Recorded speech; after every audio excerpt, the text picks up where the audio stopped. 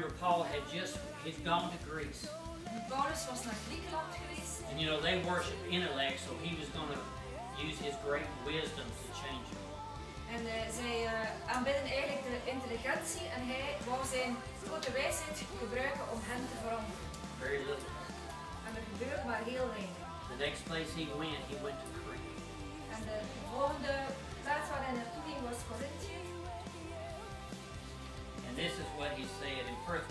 Corinthians 2, 4, and 5. En in 1 Korinthe 2, vers 4 en 5.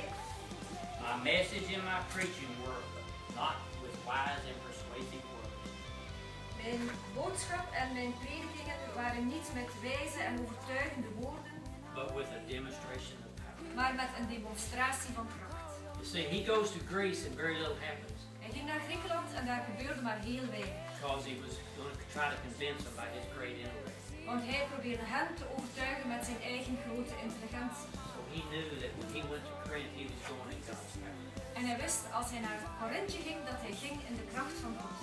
You see, the, the world is tired of the big word. Want de wereld is een, eh, een dode religie beu. you know, the interaction between people as believers and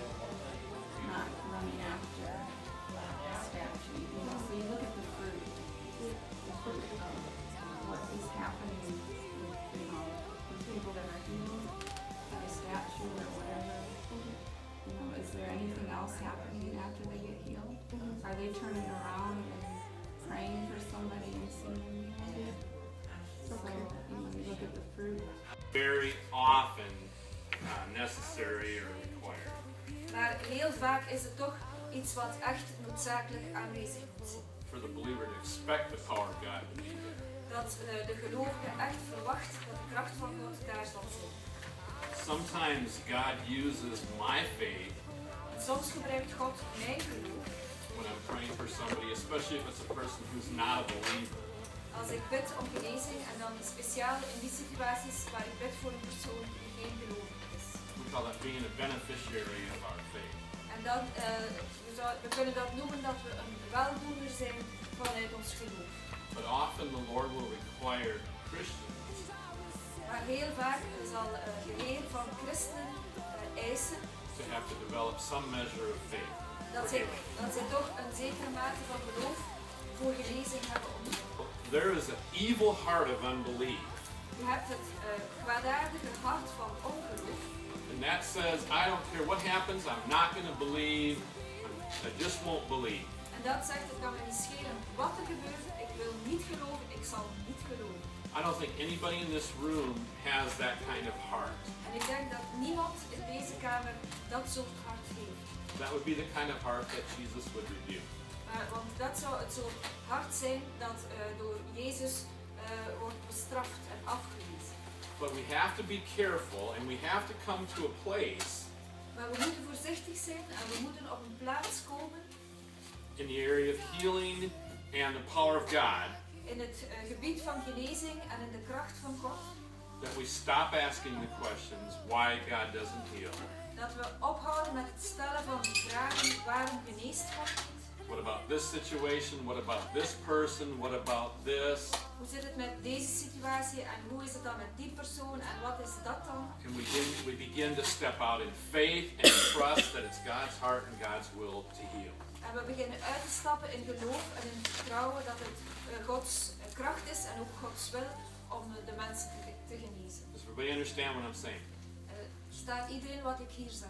Otherwise, what happens is we know there's instances we don't understand, Anders wat er gebeurt is, als we weten dat er momenten zijn waarop we het, het niet begrijpen, and we begin to focus on those instances. en we beginnen ons te focussen op die momenten, And I find going forward after a, a few initial questions en eh, als we dan willen voortgaan nadat we in het begin wat vragen hebben gehad, that Christians that don't get past those questions dan gebeurt het vaak dat christenen niet voorbij die vragen geraken. don't ever walk in full faith when it comes to healing. En als ze nooit voorbij die vragen geraken, dan kunnen ze ook nooit in het volle geloof eh, voor genezing wandelen. Is that right, Harvey?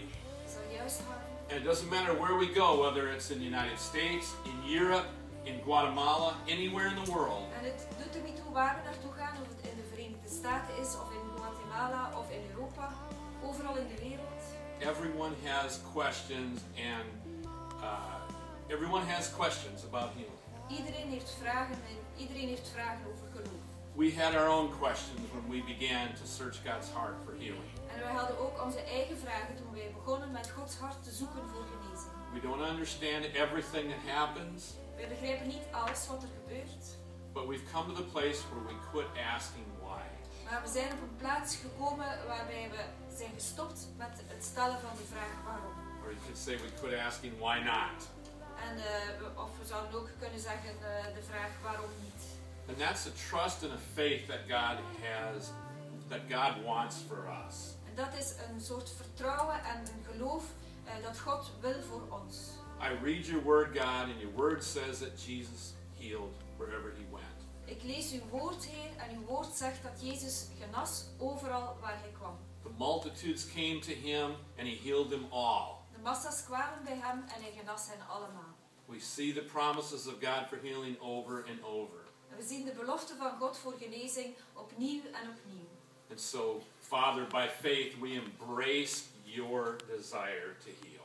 En Vader, door ons geloof omhelzen wij uw verlangen om te genezen.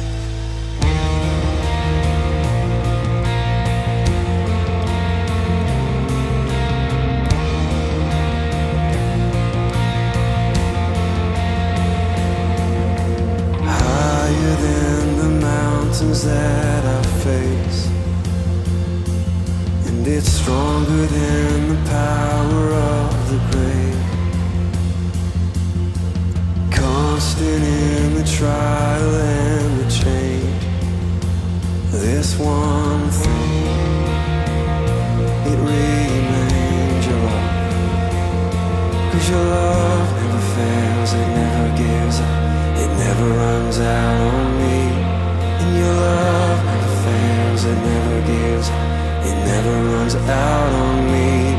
And your love never fails, it never gives up, it never runs out on me.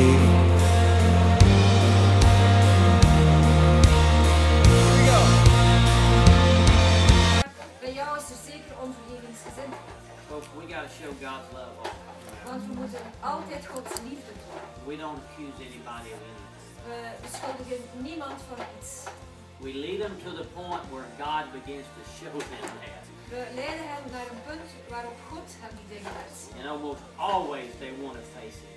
En bijna altijd willen ze het ook onder ogen zien. And then healing comes. En dan komt de genezing. But what talked about, you can walk in divine health. En eh, wat Pat, Pat over gesproken heeft, is dat je kan wandelen in goddelijke gezondheid. You can come to a point where your family has either none or almost no sickness in it. En je kan op een punt komen waarbij in jouw gezin eh, bijna geen of zelfs geen ziekte is. Now that sounds impossible in the world we live in, En in de wereld waarin we leven klinkt dat eh, als onmogelijk. but it's not in world. Maar het is in eh, Gods wereld is het niet onmogelijk. But we have to change the way we think Maar wij moeten de manier waarop we denken veranderen. and believe the promises. En de belofte van God. Just accept when God says, I will take all sickness from you. En gewoon accepteren als God zegt, ik zal alle ziekte van jullie wegnemen. We believe